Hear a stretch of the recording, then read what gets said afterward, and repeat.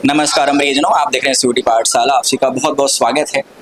आ, आज इस शानदार प्रांगण में बहुत दिनों बाद आ, मैं तो आया था ग्राउंड रिपोर्टिंग के लिए और यहाँ पे कुछ सर से मुलाकात होगी जो कि डीएवी के फिलोसफी डिपार्टमेंट के एच साहब हैं।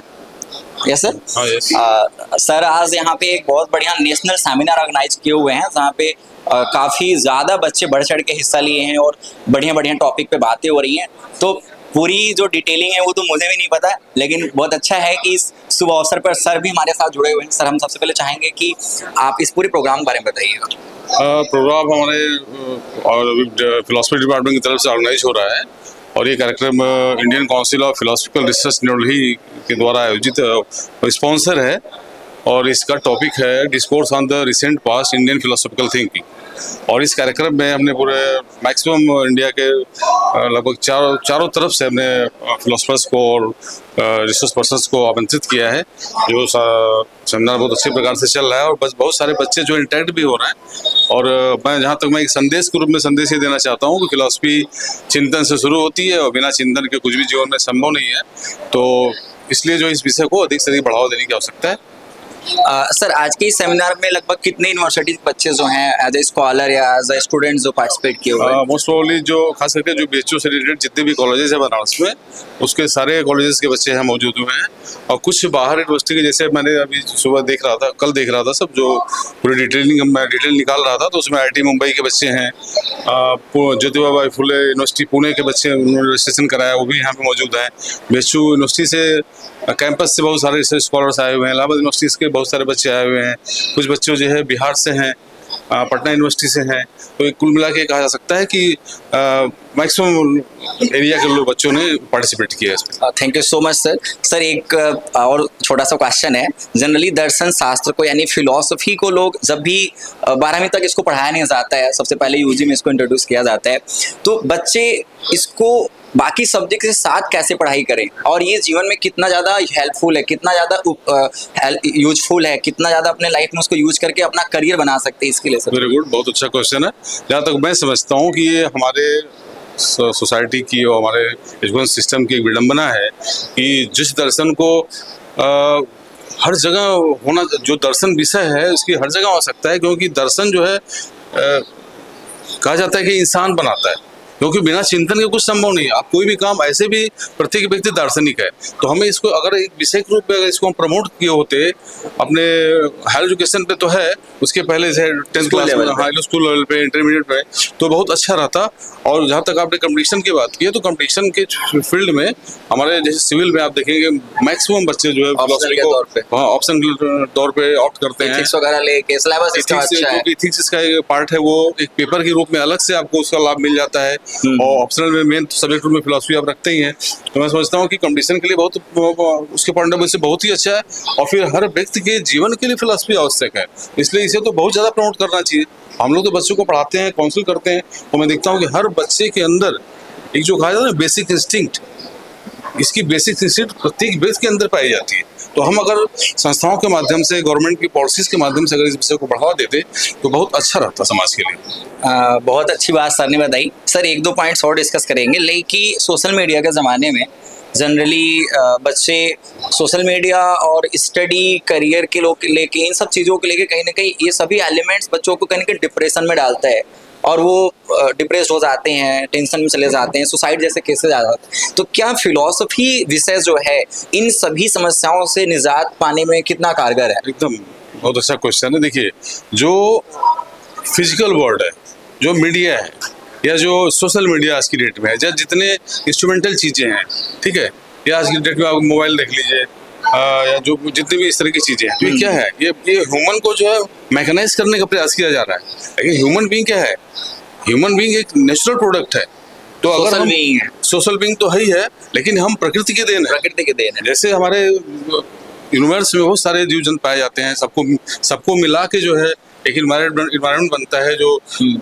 पूरे दुनिया को जो है जीवित रखे हुए हैं तो ऐसे परिवेश में अगर हम अपनी मानवता को, अपनी इंसानियत को या जो डिजिटल चीज़ें हैं, अगर उसको मैकेनाइज कर देंगे तो यहाँ तक मैं समझता हूँ कि अपने ही भविष्य को अपने आप को एक तरह स्टेक में डालने का प्रयास हो रहा है। हम अपने अपने अस्तित्व पे ही मेरे द्वारा जो प्रयास किया जा रहा है हम अपने अस्तित्व पे ही संकट पैदा कर रहे हैं। तो ऐसे पर, ऐसी स्थिति में हमें फिलोसफी की बहुत आवश्यकता है। जहाँ तक मैं समझता हूँ कि in the latter half of the nineteen century एक नया इसका डिसिप्लिन डेवलप हुआ है। That is called environmental ethics environmental ethics क्या कहता है कि पूरे हमें इन्वायरमेंट के बारे में जिसमें सारी चीज़ें आती है इन्वायरमेंट मतलब चारों तरफ़ का घेरा जिसमें पूरा से सारी चीज़ें आ जाती है। उसके प्रति हमें एक एथिकल अप्रोच डेवलप करने की आवश्यकता है। हम पेड़ को काटते हैं अपने भौतिक नीड को पूरा करने के लिए ये हमें नहीं करना चाहिए। हम एनिमल को मारते हैं नहीं करना चाहिए। क्योंकि सारे चीज़ों का एक कंपोजिशन है इस एनवायरमेंट को बनाने के लिए जो कि हमारे जीवन के लिए बहुत ही आवश्यक है। हमें ऑक्सीजन की बहुत आवश्यकता है। अगर एक भी कड़ी टूटेगी हम्म। अगर हम किसी एनिमल को मारते हैं किसी भी ईश्वर का जो भी पृथ्वी पे वो है अगर उसको हम नष्ट करने का प्रयास करते हैं तो एक वे श्रृंखलता उत्पन्न होती है। जिस तरह हमारे बॉडी में एक सेल डैमेज हो जाता है सेल डेवलप करने लगता है तो कैंसर हो जाता है पूरी बॉडी का विनाश हो जाता है उसी तरह ये जो जितने भी इकाइयाँ हैं जितने कंपोनेंट्स हैं जो मिलके हमारे जो सारे कंपोनेंट्स मिलके हमारे इन्वायरमेंट को हम्म। निर्मित होते हैं अगर एक भी अगर उसमें से टूटेगा तो पूरे इन्वायरमेंट का ही विनाश हो जाएगा पूरी धरती का और उसके हम लोग हिस्से हैं तो हम, लोग भी हम, हम उसके भी विनाश हम उसके पार्ट बनते जा रहे हैं इसलिए हमें ऐसे विषय को चूज़ करना चाहिए हमें मोरलिटी को बढ़ावा देना चाहिए। तो ठीक है अपनी आवश्यकताओं को हम एक जो सस्टेनेबल डेवलपमेंट यस हमें जो है एक सस्टेनेबल डेवलपमेंट की तरफ़ बढ़ना चाहिए ताकि हमारी आने वाली पीढ़ियाँ जो है हमारे प्राकृतिक उत्पादों का यूज़ कर सकें। उसको हम ही ना कंज्यूम कर जाए सर का बहुत कीमती समय है सर दो मिनट और लूँगा। जनरली हमारे पास फिलोसफी में दो ब्रांचेस हैं Indian philosophy and western philosophy sir बस मैं चाहूँगा कि थोड़ा सा इन दोनों जो पार्ट्स हैं अच्छा तो दोनों ही मैं मानूँगा फिलोसफी वाले किसी को बुराई नहीं मानते जनरली दोनों ही अपने आप में एक रिसर्च है एक, एक अप्रोच है पॉजिटिव अप्रोच है। लेकिन सर मैं चाहूँगा कि दोनों के बारे में थोड़ा सा जो बच्चे कभी नहीं फिलोसफी पढ़े जिनको डर लगता है वो जान जाए कि इंडियन और वेस्टर्न फिलोसफी क्या है। इंडियन फिलोसफी का जन्म ही इसलिए होता है बंधन से छुटकारा प्राप्त करना to get liberation from bondage ठीक है? Indian philosophy is a way of life ठीक है? इंडियन फिलोसफी क्या है? व्यवहारिक इनिशियल जो डिफ्रेंसिएशन है इंडियन और वेस्टर्न फिलोसफी ये जो है व्यवहारिक है, ठीक है? वेस्टर्न फिलोसफी क्या है? ये क्यूरियोसिटी से प्रारंभ होती है, सैद्धांतिक है, ठीक है? इसमें मेटाफिजिक्स को लेके थोड़ा सा बाद में जाके कॉन्टेम्प्रेरी फिलोसफी में जाएँगे तो मेटाफिजिक्स को लेके जो है दार्शनिक में उलझन आती है तो मेटाफिजिक्स को कुछ देर के लिए हटा दिया जाता है ठीक है? कुल मिला के दोनों दर्शन जो हैं बहुत अच्छे हैं और सबका उत्स देखेंगे आप जो टारगेट कहा जाता है तो एक ही है। सब कुछ मिला के। टू गेट फ्रीडम लिबरेशन मोक्ष जिसको बोल सकते हैं निर्वाण जिसको बोल हाँ, सकते हैं। निर्वाण की प्राप्ति हमें होती है ट्रूथ का सर्च बोल सकते हैं हाँ। सत्य की खोज यस यस सर थोड़ा कंट्रोवर्शियल क्वेश्चन है। दोनों में बेस्ट कौन है? इंडियन फिलोसफी या वेस्टर्न फिलोसफी भाई मैं तो दोनों को लाइक करता हूँ। स्पेशली इंडियन को ज़्यादा लाइक करता हूँ क्योंकि इंडियन फिलोसफी मैंने देखा है कि इंडिया की कोई भी फिलोसफी ऐसी नहीं है जो कंप्लीट ना हो। पूरी कंप्लीट फिलोसफी इंडियन फिलोसफी आप चार को ले लीजिए। आप जो आस्तिक नास्तिक दर्शन है, किसी भी दर्शन को लीजिए, वो एक कंप्लीट फिलासफी है, जबकि वेस्टर्न फिलासफी में किसी भी मुद्दे पे बात की जाती है, लेकिन उसको कंप्लीट नहीं किया जाता। छोड़ के आगे बढ़ जाते हैं। हाँ सर आपने अभी चारवाक दर्शन की बात करी। चारवाक दर्शन की जब बात आती है तो आज की जनरेशन अक्सर अपने आप को रिलेट करती है कि भाई देखो हम बस अपना जो भी जो भी एलिमेंट्स जो भी चीज़ें इन्वायरमेंट में है उसका उपभोग करना है और अपने आप को देखना है अपना जीवन सफल हो जाए बाकी आने वाली जनरेशन बाहर में उससे मतलब नहीं है। लेकिन कहीं ना कहीं मुझे लग रहा है मिथ है बच्चों के बीच में गलत धारणा दर्शन में ऐसा कहा जाता है कि वो भौतिकवादी दर्शन है। प्रेजेंट को मानता है प्रेजेंट पे विश्वास करता है जो चीज़ें नहीं है उसमें विश्वास नहीं करता उसका दर्शन की फिलोसफी है कि आवश्य जीवे सुखम जीवे ऋणम करता कितम पे मतलब जब तक जियो सुख से जियो ऋण लेके गे पियो। मतलब चाहे जैसे मस्त रहो अपने आप को।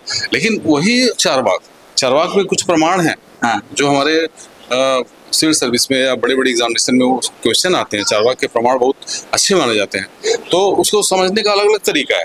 एक मेटलिज्म की बात करता है वो ये तो हम्म। तय है। तो उसके बाद भी उसका बहुत इंपॉर्टेंस बहुत importance thank you so much sir आपने इतना अपना कीमती समय दिया जबकि सर का जस्ट इस हॉल में एक बहुत शानदार बहुत बड़ा सेमिनार चल रहा है जो नेशनल लेवल पर सेमिनार है। और अच्छी बात यह है कि एफएमसी के भी बहुत सारे स्कॉलर और एज अ चीफ गेस्ट भी यहाँ प्रोफेसर उपस्थित हुए हैं। सर मैं डीएपी कॉलेज आज मीट किया मुझे बहुत अच्छा लगा आपका कॉलेज मैं बोलना चाहूँगा सर बहुत क्लीन है और यहाँ के इन्वायरमेंट में एक अलग सुगंध है सर ये ये मैं कहना चाहूँगा कि इस कॉलेज का जो मेंटेनेंस है छोटा है सुखी परिवार है छोटा परिवार सुखी परिवार मुझे बहुत अच्छा लगा। Thank you so much sir आपका